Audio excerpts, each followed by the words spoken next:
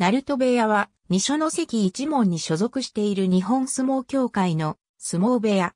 2014年3月場所限りで現役を引退し、年寄り、こと欧州から2015年2月に15代ナルトを襲名して、佐渡が学部屋の部屋付き親方として、後進の指導に当たっていた元大関、こと欧州が2017年4月1日付で二人の内弟子を連れて、佐渡が学部屋から文家独立し、ナルト部屋を創設した。墨田区横川で2年間仮住まいをし、2019年6月に、同区向島に部屋を構えた。2018年5月の報道によると、ネットで調べたら一番情報量が多かったから、とナルト部屋を選んだ理由を話す力士もいるという。2019年1月31日、日本相撲協会は、ナルト部屋所属の三段目力士が身の回りを片付けをしないなどのことで、スマートフォンの角で弟弟子の頭部を殴打し、2018年9月頃から2019年1月までの間には、仕事の失敗の罰と少子柔道の締め技で失神させようとしたり、別の弟弟子にも命じて繰り返し実際に一度失神させるなどの暴行を10回以上も行っていたことを公表した。恐怖を感じた被害者力士は1月10日に兄弟氏に相談し、2日後にまた締め技をかけられたため、再度相談した。兄弟氏は部屋マネージャーに事実を話すよう助言し、マネージャーを通じて事態を把握したナルトが1月13日に加害者力士に問いただしたところ事実を認めたという。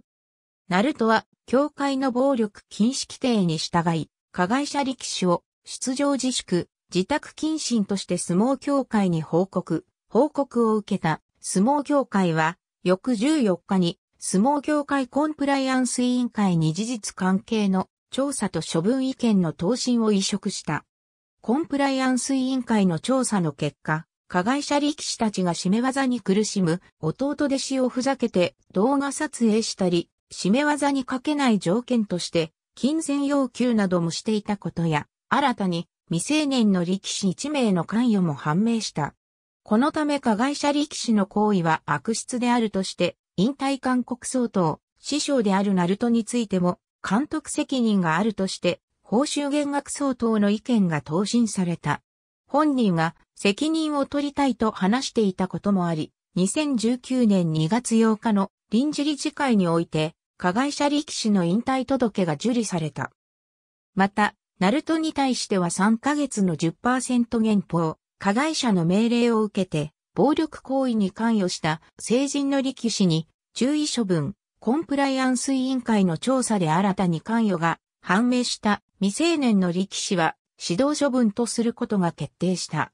ナルト部屋が新設で仮設状態だったことも一因であったことから、マネージャーを1名から2名に増員。4月からは新設となる都内の部屋建物内に、師匠夫妻が同居するなどの体制の強化を含んだ指導計画書が提出され、今後、報告書が月1回提出される予定となった。この件は、2018年12月に新設されたコンプライアンス委員会そして暴力禁止規定が初めて適用されるケースとなる。